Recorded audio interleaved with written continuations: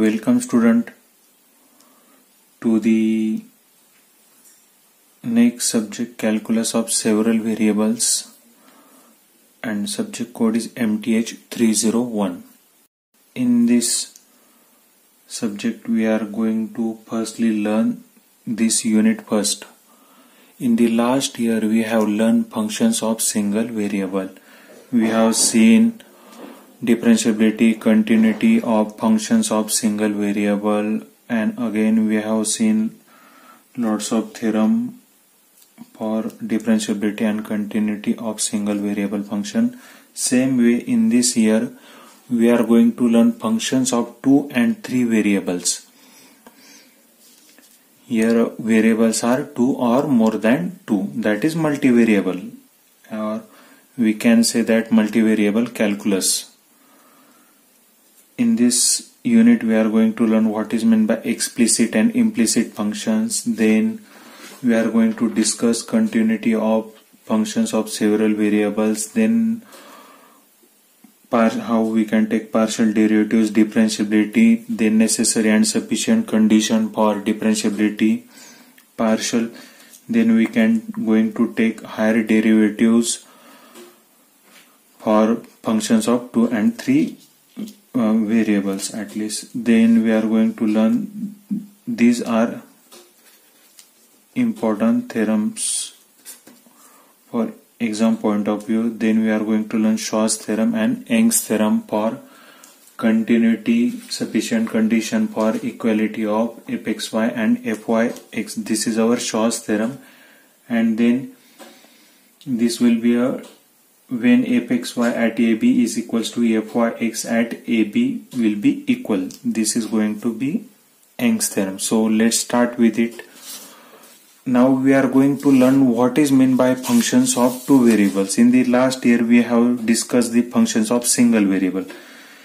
Single variable means z is equals to f of x where x is our independent variable. This is our independent variable. We actually know that what is meant by independent variable. Independent variable means it can take any value from our domain and then this is our dependent variable. Dependent variable. Z is our dependent variable. That means it is depend on the value of x. What is if value of x changes then the value of z is also changes. That means the value of uh, the value of x in this function changes then it will change the value of z. That means z is depend on x and x can take any value. So what definition says functions of two variables a variable z is said to be function of two variable. That is a variable z that is our z is said to be function of two variables x and y. That is this is a function of two variables x and y defined on a set d. That means eh, the value of x and y comes from d. Here d is our domain define on a set D. If for each point of the set D, there corresponds a definite value of the variable z. The point set D is then called domain of the definition of the function. That means this is our dependent variable and both are here x and y are our independent variable. Here two variables are independent and one is dependent on x and y. That, that function is called as function of two variables. That means here variables are 2 and dependent variable is 1. De what definition? A variable z is said to be a function of two variables x and y defined on a set D. That means we we have to take uh, x and y from our given domain where function defines. What is meant by function defines? म्हणजे त्या पॉइंटला domain मधल्या कोणत्याही पॉइंटला फंक्शनला problem यायला नको. In that sense one upon zero माहिती इन्फिनिटी होऊन जाईल. म्हणजे जर फंक्शन आपलं असेल one upon X minus Y तर डोमेन मध्ये ऍट ए टाइम एक्स आणि वायचे व्हॅल्यू जर झिरो असतील तर वन अपॉन काय होऊन जाईल? झिरो त्यावेळी फंक्शनला काय येणार आहे? प्रॉब्लेम येणार. म्हणून डोमेनमध्ये ऍट ए टाइम दोघं व्हॅल्यू झिरो नसणार आहेत. म्हणजे डोमेनमध्ये आपण काय करणार आहे ते रिमूव्ह करणार आहे ते पॉइंट ज्या पॉइंटला फंक्शनला अडचण येत असेल किंवा फंक्शन डिफाईन होत नसेल आपलं. There for each point of the set D म्हणजे डी मधल्या प्रत्येक पॉइंटसाठी there corresponding definite value of the variable Z म्हणजे डी मधला एक करस्पॉन्डिंग सेट घेतला एक्स आणि वायचा ठीक आहे? ऑर्डर पेअर घेतले एक्स अँड वायसाठी त्यासाठी एक करस्पॉन्डिंग व्हॅल्यू झेडची भेटणार आहे. जसं Z is equals to X plus Y असेल आणि डोमेन आपला आर टू असेल ठीक आहे? आर टू तर माहिती आहे ना आपल्याला एक्स वाय प्लेन हा एक्स प्लेन एक्स आणि हा एक्स ऍक्सिस वाय ऍक्सिस आणि हा प्लेन काय असतो? टोटली आपला X Y plane okay X Y plane आणि व्हॅल्यू कुठून येणार आहेत? ह्या फंक्शनचा हे बघा झेड काय? डिपेंडंट व्हेरिएबल आणि एक्स प्लस वाय काय झाली? इंडिपेंडंट म्हणजे एक्स आणि वायचे जे व्हॅल्यू त्यावरती झेड काय असणार आहे? डिपेंड असणार आहे. म्हणून one dependent variable and two independent variable if we take order pair two three then we will get what what is two plus three that is five this is the value of Z म्हणजे प्रत्येक एका unique पेअरसाठी आपल्याला काय भेटणार आहे? Unique झेडची value भेटणार आहे. समजा मायनस वन टू घेतली तर आपल्याला झेड काय भेटणार आहे minus one plus two that is one this is the value of Z that is what they are saying for each point of the set D that means for each point of the set D there corresponds a definite value of the variable Z there corresponds a definite value of variable Z the point set D is called domain of the definition. Already we have already discussed D is called domain of the function.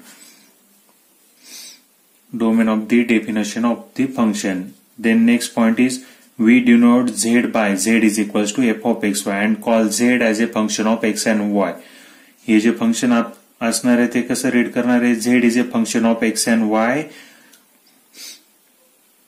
and we can write in this way Z we can write Z in this way Z is a function of F of X Y D is a subset of X Y plane as variable किती आहेत आपले दोन आहेत ना म्हणून आपण कुठे work करणारे? आर टू वरती वर्क करणारे. म्हणजेच आर टू म्हणजे काय? आपला एक्स वाय प्लेन आणि आपल्याला माहिती आहे आर टू म्हणजे आर टू चे एलिमेंट कसे असतात? ऑर्डर पेअर ए बी मध्ये. हा पण काय असतो तुमचा?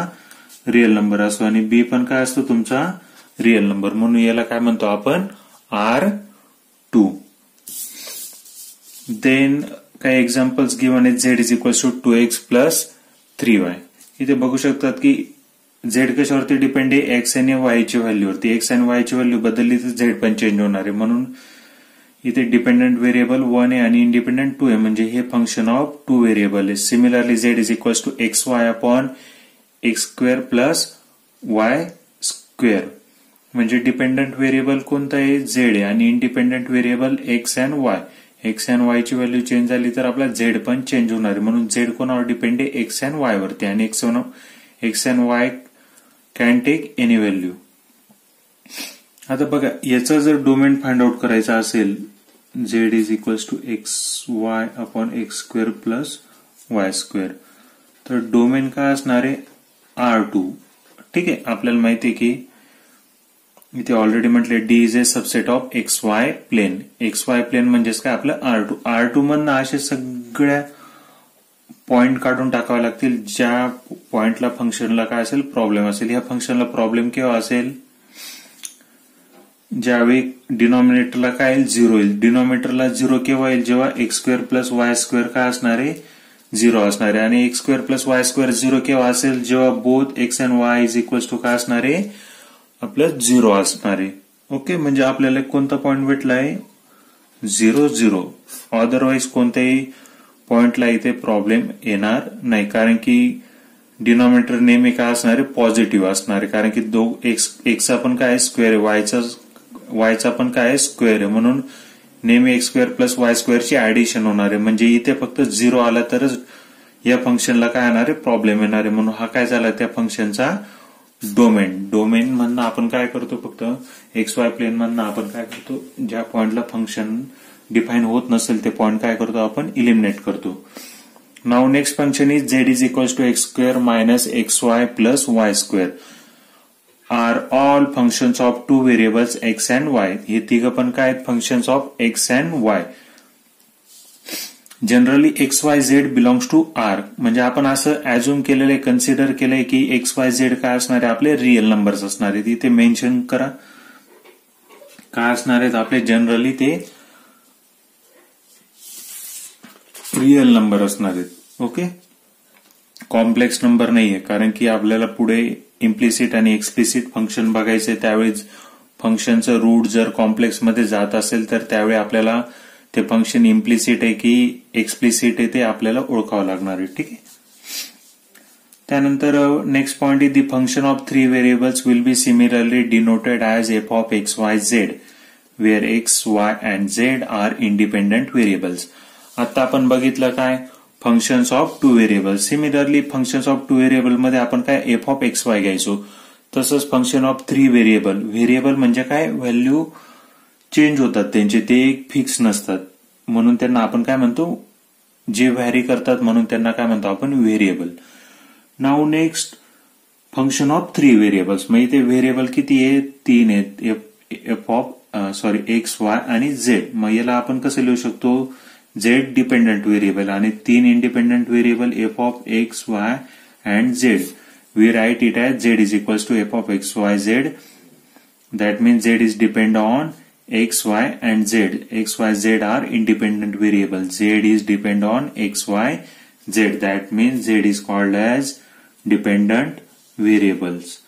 Generally function of N variables आता बघितलं की वन टू व्हेरिएबलसाठी बघितलं थ्री व्हेरिएबलसाठी बघितलं तर एन व्हेरिएबलसाठी कसं लिहू शकतो same Z is equals to F of X one X two X three किती व्हेरिएबल म्हणतो आपण एन व्हेरिएबल म्हणतोय म्हणून इथे काय आपला? X N one two three up to N हे टोटल किती आहेत आपले? N variables this is called as function of N variable generally okay now we are going to discuss what is meant by explicit function and implicit functions. खूपच easy आहे. Explicit फंक्शनचे आपण theory बघूया. If we consider a set of N independent variables आपण काय घेतो एक set घेतोय एन इंडिपेंडंट व्हेरिएबल्सचा ते एन इंडिपेंडंट व्हेरिएबल्स कोणते आहेत? X Y Z up to T हे टोटली किती इंडिपेंडंट व्हेरिएबल आहेत?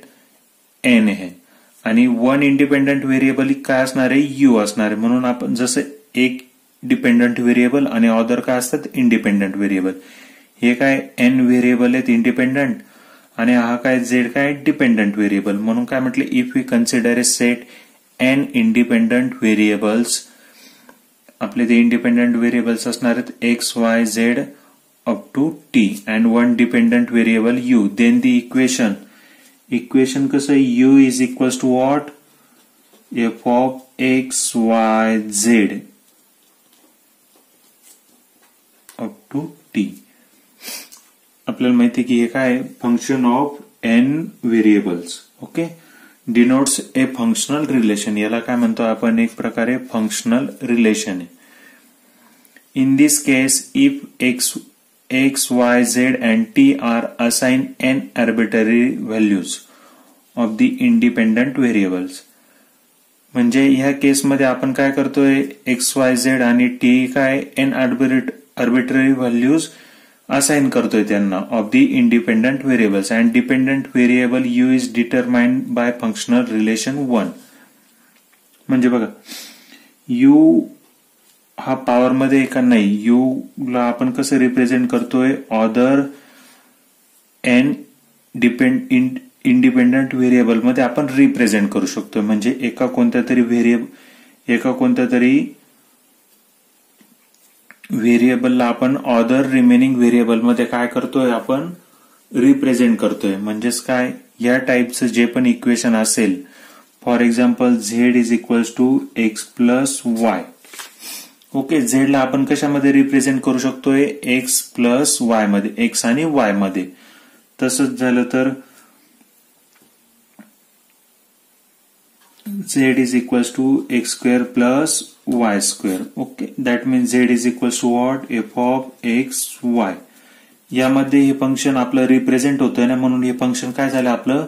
एक्सप्लिसिट फंक्शन ज्या फंक्शन्सला आपण ह्या फॉर्ममध्ये लिहू शकतो. इकडे काय असणारे? डिपेंडंट व्हेरिएबल असणारे आणि अदर साईडला काय असणारे? इंडिपेंडंट व्हेरिएबल जर असं आपण लिहू शकत असू तर त्या फंक्शनला आपण काय म्हणतोय? एक्सप्लिसिट फंक्शन ठीक आहे त्याचं आपण एक्झाम्पल बघितलं. जसं for example Z is equals to X square plus Y square म्हणजेच आपण झेडला कसं लिहू शकतोय? Z is equals to F of X Y okay this is our functional relation and this is our function F of X Y is equals to X square upon Y square म्हणजे झेडला आपण कोणत्या फॉर्ममध्ये लिहू शकतोय? N independent व्हेरिएबलच्या फॉर्ममध्ये लिहू शकतोय. म्हणून आपण याला काय म्हणायचं? एक्सप्लिसिट फंक्शन नाव जर आपण जर कोणत्याही फंक्शनला असं रिप्रेझेंट करू शकत नसू म्हणजे एका बाजूला डिपेंडंट व्हेरिएबल आणि दुसऱ्या बाजूला इंडिपेंडंट व्हेरिएबल असं रिप्रेझेंट करू शकत नसू तर ते काय असणार आहे? आपलं इम्प्लिसिट फंक्शन असणार आहे. जे एक्सप्लिसिट असेल जे एक्सप्लिसिट नसेल ते काय असणार आहे? इम्प्लिसिट असणार आहे. ओके बट सेव्हरल व्हेरिएबल्स त्याचं बघू implicit function but several variables are concern it is rarely possible to obtain and equation म्हणजे जर सेव्हरल व्हेरिएबल कन्सर्न असतील म्हणजे जसे सेव्हरल व्हेरिएबल आहेत ते कन्सर्न होते त्यावेळी काय होतं?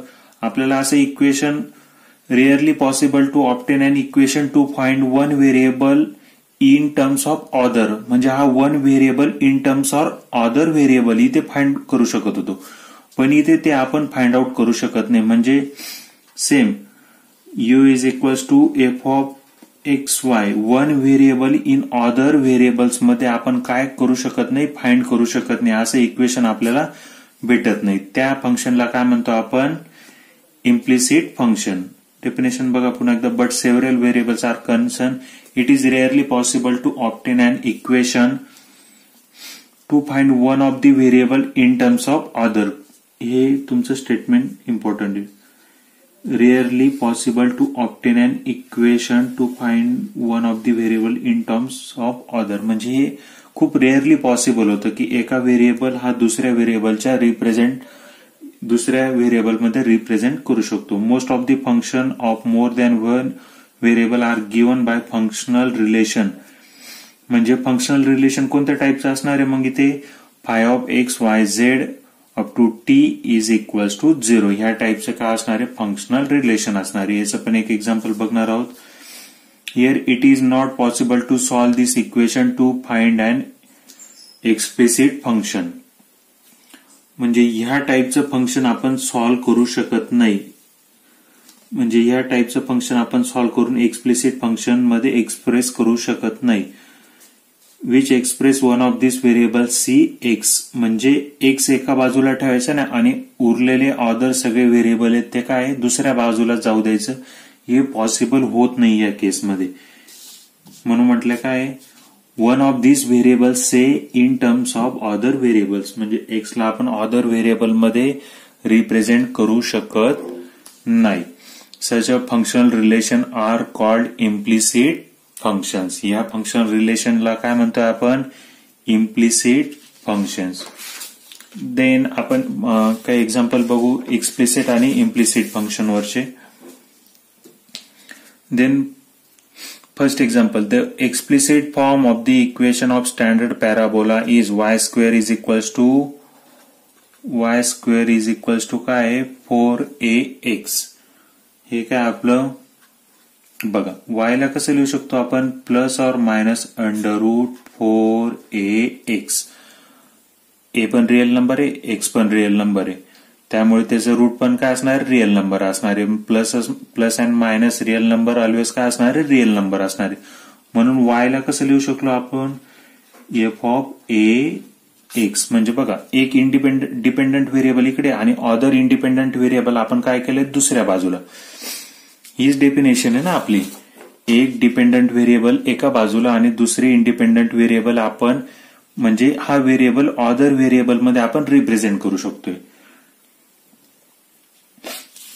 ओके म्हणून आपण वायला कसं लिहू शकलो? Plus or minus under root four x y is equals to f of x similarly आपण असं पण म्हणू शकतो y square is equals to four x ना? मग एक्सला कसं लिहू शकतो? Y square upon four a म्हणजे x is equals to what x is x is a function of a and y आलं लक्षात? म्हणजे बघा इकडे फक्त इथे काय करू शकतो? आपण एक डिपेंडंट व्हेरिएबल ठेवू शकतो आणि बाकीचे सगळे म्हणजे इथे एक स्क्वेअरने चालणार ना आपल्याला? जसं इथे वाय स्क्वेअर होतं आपण आपण वायमध्ये कन्वर्ट केले. बरोबर आहे? म्हणजे इथे आपल्याला काय लागणार आहे? पॉवर वनच लागणार आहे त्या व्हेरिएबलच्या असं नाही की X square is equals to two two Y plus three ह्या ह्या टाईपचं एक्झाम्पल नाही चालणार. ठीक आहे? मग आपल्याला इथे बघावं लागेल. इथे एक्स स्क्वेअरला आपल्याला एक्समध्ये कन्वर्ट होतोय का नाही ते चेक करावं लागेल. होत असेल तर ते काय होईल आपलं? इम्प्लिसिट फंक्शन होणार आहे. नसेल होत तर ते काय होणार आहे आपलं? एक्सप्लिसिट फंक्शन होणार आहे. सॉरी इम्प्लिसिट फंक्शन होणार आहे. ओके त्यानंतर सेकंड एक्झाम्पल आहे x square plus y square minus five ठीक आहे इथे काय minus five is equals to zero determines two functions okay मग आता हे फंक्शन इम्प्लिसिट आहे की एक्सप्लिसिट ते आपण व्हेरीफाय करणार आहोत. फंक्शन काय? X square plus y square minus five is equals to zero okay याला जर एक्सप्लिसिट व्हायचं असेल तर एक व्हेरिएबल इकडे ठेवून त्याची पॉवर काय लागणार आहे? वन लागणार आहे. आणि उरलेले सगळे व्हेरिएबल कॉन्स्टंट जे काय असेल ते काय पाठवावं लागतील? आपल्याला अदर साईडला पाठवावं लागतील. ठीक आहे? म्हणजेच कसं? एक्स स्क्वेअर मायनस फाईव्ह तिकडे जाताना फाईव्ह वाय स्क्वेअर मग एक्सला कसं लिहू शकतो? Plus or minus under root five minus y square square root घेतलं दोघं बाजूंचं. ओके? मग आपल्याला माहिती आहे की इथे तर आलंय आपलं पण हे बरोबर आहे का? म्हणजे हा ऑलवेज रिअल नंबर असणार आहे का? नाही. रिअल नंबर केव्हा असणार आहे? ज्यावेळेस फाईव्ह काय असणार आहे? ग्रेटर इक्वल वाय स्क्वेअर असणार आहे. म्हणजे जर वाय स्क्वेअर ग्रेटर होऊन गेला फाईव्हपेक्षा तर हा नंबर काय होणार आहे? आपला निगेटिव्ह होणार. कारण की हा लहान नंबर होईल हा काय होऊन जाईल? आपला मोठा नंबर होऊन जाईल. म्हणजेच काय भेटेल? हा निगेटिव्ह नंबर निगेटिव्ह नंबरचं स्क्वेअर रूट घ्यायला गेलं तर आपण कुठे जाणार आहे? कॉम्प्लेक्स नंबर आणि आपण we are already mention that x y z will be consider as a from set of real numbers म्हणजे आपले रिअल असणारे म्हणून हे चालेल का आपल्याला? नाही.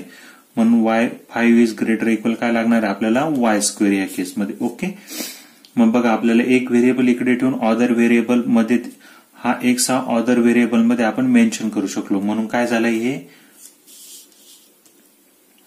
This is our explicit function okay same त्यांनी पण असंच केलं किंवा आपण असं पण लिहू शकतो y square is equals to y y is equals to plus or minus five minus x square. आणि इथे पण हा नंबर पॉझिटिव्ह लागेल म्हणून five is greater equal x square. Equal to पण चालून जाणार आहे कारण की दोघं जर इक्वल असतील तर अंडर रूट काय होऊन जाईल? झिरो होऊन जाईल. आणि माहिती तो काय आपला रिअल नंबर आहे. ओके आता त्यानंतर हे काय झालं मग आपलं एक्सप्लिसिट फंक्शन का? कारण की आपण ते या फॉर्ममध्ये रिप्रेझेंट करू शकलो. म्हणजेच हे कसं झालं? X is equals to f of वायमध्ये काय करू शकलो आपण रिप्रेझेंट करू शकलोय. म्हणून हे काय झालं आपलं? एक्सप्लिसिट सिमिलरली दिस इज दोघांपैकी कोणतेही शो केलं तरी चालणार. ठीक आहे? एक्सप्लिसिट आहे की इम्प्लिसिट व्हेरीफाय करा. त्यानंतर सेकंड एक्झाम्पल ठीक आहे? इथे काय मायनस आहे ना? सेकंड एक्झाम्पलला आपण प्लस घेऊ. Okay five is equals to zero मग बघू आता एक्स ची व्हॅल्यू काढण्याचा प्रयत्न करू आपण. X is x square is equals to what minus five minus y square plus five इकडे जाताना काय होऊन जाईल? मायनस होऊन जाईल. आणि प्लस वाय स्क्वेअर इकडे जाताना काय होईल? Minus y square this will give us x is equals to काय भेटेल? Plus or minus under root minus five minus y square बघा. इथे बघा. हा रिअल नंबर असणार आहे की आपला कॉम्प्लेक्स नंबर असणार आहे. आपल्याला every real number is complex number complex होतोय का ते बघावं लागेल आपल्याला ठीक आहे? आहे की नाही? बघा हा पण नंबर काय आहे? निगेटिव्ह आहे. हा पण नंबर काय असणार आहे? निगेटिव्ह असणार. Negative minus negative negative and negative we will get negative म्हणजे हा काय तुम्ही कोणतेही वायची व्हॅल्यू आणा. वाय प्लस आणा निगेटिव्ह आणा झिरो आणा. तो स्क्वेअर झाल्यानंतर ऑलवेज काय होणार आहे? प्लस होणार आहे. आणि प्लसला मायनसने मल्टिप्लाय केलं तर मायनस म्हणजे हा मायनस वाय स्क्वेअर ऑलवेज काय असणार आहे? मायनस असणार आहे. आणि मायनस फाईव्ह म्हणजे हा पण मायनस नंबर हा पण मायनस नंबर म्हणजेच काय असणार आहे? Plus or minus under root minus काहीतरी एक नंबर असणार आहे. म्हणजे काय झाला? हा रिअल नंबर झाला का? आपला नाही. हा काय झाला? आपला कॉम्प्लेक्स नंबर म्हणजे आपण असं लिहू शकतोय का? याला नाही लिहू शकत. याला कसं लिहू शकतो मग ह्याच फॉर्ममध्ये म्हणजेच काय? F of x y is equals to zero तीच आपली कंडिशन आहे ना? हे बघा phi of x y z t is equals to zero म्हणून असं लिहू शकतोय. पण आपण असं लिहू शकतोय का त्याला? X is equals to f of y नाही लिहू शकत आहे. म्हणून हे काय होतंय आपलं? इम्प्लिसिट फंक्शन पुन्हा एकदा सांगतो हे इम्प्लिसिट काय झालं? कारण की आपल्याला ह्या टाईपचं फंक्शन गिवन होतं. आपण एक्सची व्हॅल्यू काढण्याचा प्रयत्न केला तर आपल्याला भेटते की हा रिअल नंबर भेटणारच नाही आपल्याला. हा ऑलवेज काय असणार आहे? कॉम्प्लेक्स नंबर असणार आहे. बट आपल्याला माहिती की जर ही कॉम्प्लेक्स व्हॅल्यू भेटली तर एक्स काय असणार आहे? कॉम्प्लेक्स पण आपण ऍझ्युम करताना काय? एक्स वाय झेड ऑलवेज काय करतोय? आपण रिअल नंबर ऍझ्युम करतोय. म्हणून आपण एका व्हेरिएबलला दुसऱ्या व्हेरिएबलच्या फॉर्ममध्ये रिप्रेझेंट करू शकत नाही. म्हणून हे काय झालंय आपलं? इम्प्लिसिट फंक्शन ठीक आहे? त्यानंतर आपण बघणार आहोत नेबरहूड ऑफ ए पॉइंट खूपच इझी डेफिनेशन आहे. आपण लास्ट इयरला सुद्धा बघितली हा तुमचा पहिले डायग्राम एक्सप्लेन करतो. हा आहे तुमचा पॉइंट ए बी हा काय तुमचा?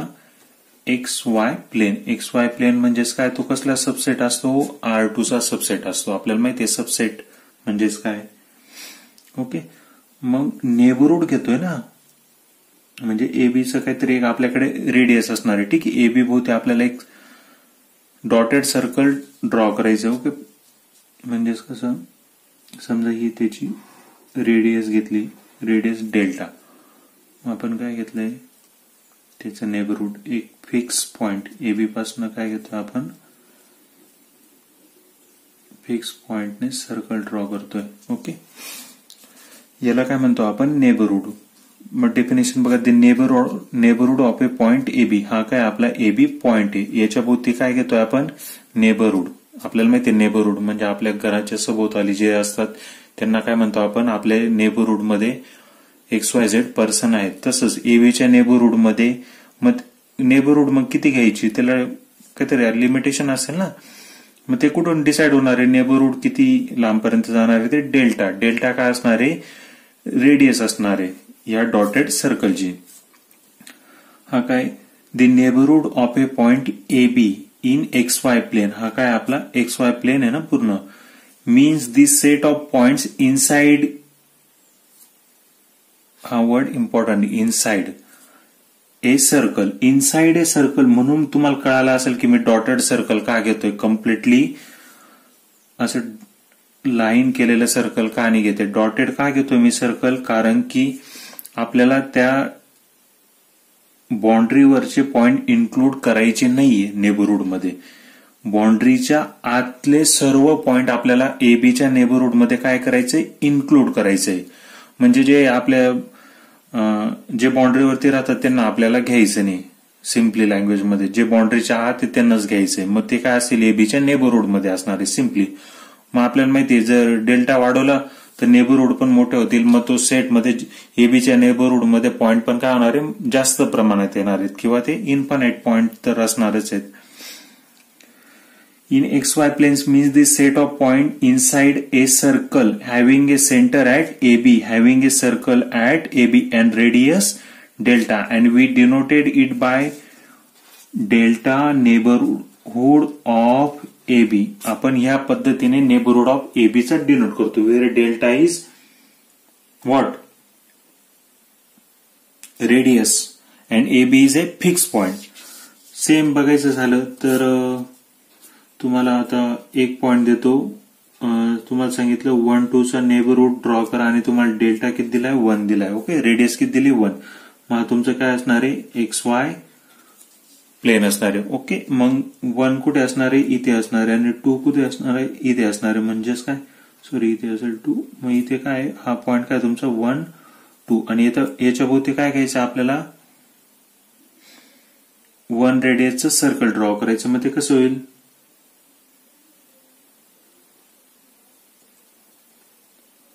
ही रेडियस किती? आपली वन हे काय झाले वन टूचं नेबरहूड म्हणजे बाउंड्रीवरचे पॉईंट इन्क्लूड न करता आपल्याला आतले सगळे पॉईंट इन्क्लूड करायचे. मग तो सेट कसा रिप्रेझेंट होईल आपल्याला? एक्स आणि वाय मग ह्या नेबरहूडमध्ये कोणते कोणते पॉईंट असणार आहेत? आपण माहिती एक्स वाय प्लेन म्हणजे आर टू मध्ये. आर टू चे पॉईंट कसे रिप्रेझेंट होतात? एक्स वाय ने रिप्रेझेंट होतात. म्हणजेच याच्या नेबरहूड मधले हे सगळे पॉईंट आहेत हे काय? इन्फानाईट पॉईंट आहेत ना? म्हणून त्याला काय म्हणतो आपण? एक्स वाय आणि हे काय आपली सर्कल आहे ना? मग आपल्याला माहिती आहे सर्कल रेडियस फॉर्मनुसार काय सांगतो? की एक्स एक्स मॅक्झिमम किती डिस्टन्स घेऊ शकतो? वाय किती घेऊ शकतो? म्हणजेच काय? X minus a square plus y minus b square less than delta square हे काय? आपल्या सर्कल रेडियस फॉर्म आहे ना? मग इथे काय असतात? ए बी पॉईंट असतात. एक्स अँड वाय काय असतात? व्हेरिएबल असते. डेल्टा काय असते? रेडियस असते ओके.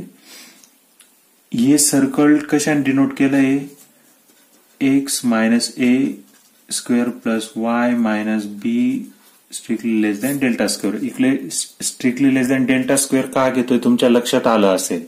कारण की आपल्याला बाउंड्री इन्क्लूड करायची नाही. म्हणून इथे इक्वल टूचं साईन येईल का? नाही. म्हणजे याला कसं रीड करायचं? Delta neighbourhood of delta neighbourhood of a b is a collection of all order pairs xy such that x minus a bracket square plus y minus b bracket square is strictly less than strictly less than delta square that means a आणि b maximum ह्या सर्कलच्या बाहेर जाणार नाही म्हणून तिथे काय घेतलंय आपण डेल्टा रेडियस म्हणून इथे काय झालंय delta square centre radius form तर माहितीच आपल्याला सर्कलसाठीचा सा। ओके बाकीचं आपण नेक्स्ट लेक्चरला बघू.